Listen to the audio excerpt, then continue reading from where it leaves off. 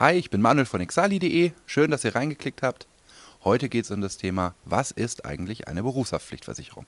Im Gegensatz zu Angestellten, die über ihren Arbeitgeber versichert sind, seid ihr als Freelancer und Selbstständige selber verantwortlich für euer berufliches Tun und Lassen. Und damit natürlich auch für Fehler, die euch eben einfach passieren können im beruflichen Alltag. Jetzt gibt es verschiedene Berufe. In manchen ist eine Haftpflichtversicherung Pflicht beispielsweise Ärzte oder Anwälte. In anderen Berufen, ITler, Medienschaffende, freie Dienstleister, Consultants, ist eine Haftpflichtversicherung nicht Pflicht, aber trotzdem sehr, sehr sinnvoll. Man kann sie so ein bisschen verstehen als Äquivalent zur Privathaftpflichtversicherung. Die braucht man hoffentlich auch nicht, aber ein Fehler kann jedem passieren, gerade im beruflichen Kontext. Und da ist es einfach gut, wenn man abgesichert ist und nicht Haus und Hof verliert, nur weil einem mal ein Fehler unterlaufen ist. Und jetzt schauen wir uns mal an, welche Schadensarten gibt es denn eigentlich? Welche Schäden können euch passieren? Weil, das ist ja ganz wichtig, eine gute Berufshaftpflichtversicherung sollte eben diese Schäden auch abdecken. Da haben wir erstens den Sachschaden. Stellt euch einen ITler vor, der beispielsweise seinen Kaffee mitnimmt in den Serverraum unvorsichtigerweise und den da verschüttet. Der verursacht einen Kurzschluss und äh, hat dadurch eben einen Sachschaden verursacht. Der zweite Punkt, auch relativ klassisch, ist ein Personenschaden. Derselbe Kaffee ist jetzt vielleicht nicht im Serverraum, sondern im, ähm, bei einem Meeting dabei. Und in diesem Meeting wird er verschüttet über den Gesprächspartner. Das führt zu Verbrennungen, die müssen behandelt werden. Ein ganz, ganz klassischer Personenschaden.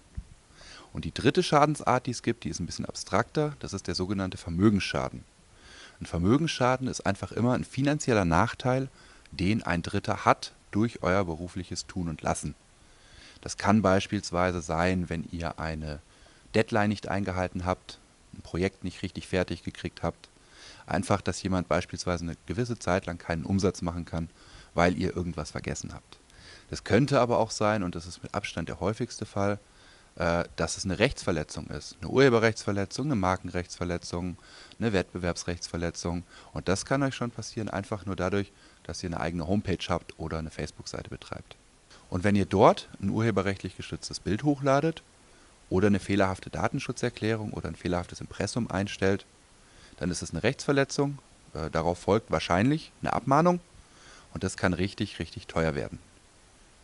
Und Vermögensschäden sind mit Abstand die häufigste Schadensart, die wir hier bei Exali beobachten. Über 90 Prozent der Schadenfälle, die uns gemeldet werden, sind Vermögensschäden. Das heißt, es ist ganz, ganz wichtig, dass eure Berufshaftpflichtversicherung diese Schadensart abdeckt.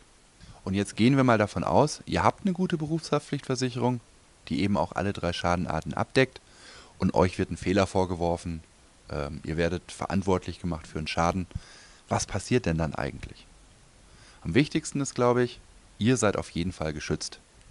Wenn die Schadenforderung berechtigt ist und ihr schuld seid an dem Fehler, dann springt der Versicherer für euch ein und übernimmt die Kosten. Und ganz wichtig ist auch, wenn der Schaden nicht von euch verursacht wurde, dann wird der Versicherer den in eurem Namen und für euch abwehren. Weil als Dienstleister ist man halt leider manchmal das schwächste Glied in der Kette, gerade bei größeren Projekten, und wird für die Fehler von anderen verantwortlich gemacht.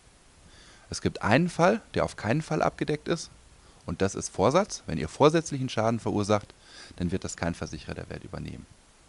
Grobe und leichte Fahrlässigkeit hingegen, die sind auf jeden Fall dabei in der guten Berufshaftpflichtversicherung, ganz einfach, weil Fehler passieren können. Wenn ihr noch Fragen zum Thema Berufshaftpflichtversicherung habt, stellt uns die doch einfach in den Kommentaren. Und wenn ihr mehr wissen wollt oder wissen wollt, wie ihr euer Business am besten versichert, dürft ihr uns auch gerne anrufen und die Kollegen in der Kundenbetreuung helfen euch weiter. Wenn euch das Video gefallen hat, klickt einfach Gefällt mir.